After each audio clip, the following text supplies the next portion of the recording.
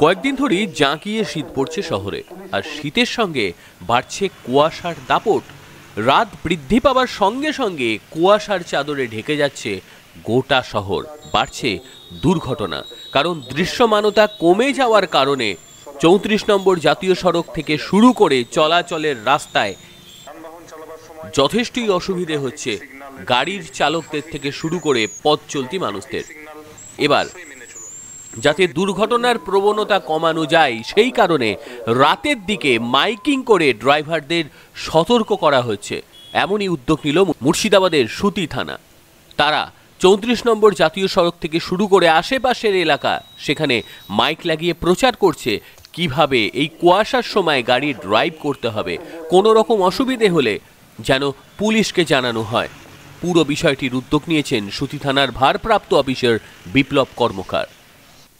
সুতির বিভিন্ন মোড়গুলিতে গতকাল রাতে দেখতে পাওয়া গেল, মাইক লাগিয়ে প্রচার করছে পুলিশ এবং লরি, বাস ইত্যাদির ড্রাইভারগুলিকে সচেতন করা হচ্ছে। কোনো কোনো সময় ড্রাইভারদের থামিয়ে বোঝানো হচ্ছে, এই সময় সতর্কতা কতটা অবলম্বন করা জরুরি।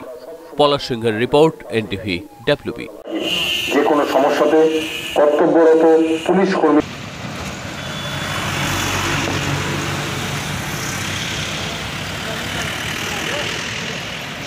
সজাগ ও সচেতন থাকুন। মনে রাখবেন, যাত্রী সুরক্ষা সবার আগে। আপনাদের পাশেই আছি। ধন্যবাদ। যানবাহন চালাবার সময় সমস্ত ট্রাফিক সিগন্যালের দিকে সঠিক দৃষ্টি রাখুন এবং ট্রাফিক সিগন্যাল অবশ্যই মেনে চলুন। গভীর আমরা সব সময় আপনাদের পাশেই আছি। ধন্যবাদ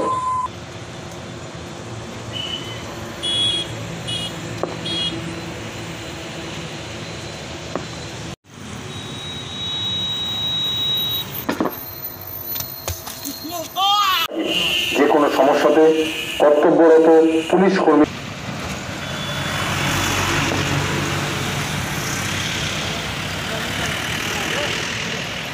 সজাগ ও সচেতন থাকুন।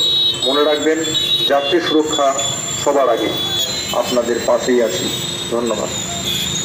যানবাহন চালাবার সময় সমস্ত ট্রাফিক সিগন্যালের দিকে সঠিক দৃষ্টি রাখুন এবং ট্রাফিক সিগন্যাল অবশ্যই মেনে চলুন।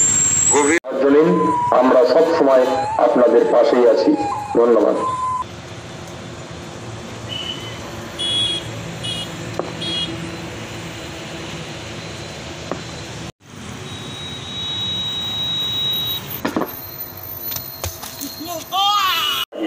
যে কোনো সমস্যাতে কর্তব্যরত পুলিশ কর্মী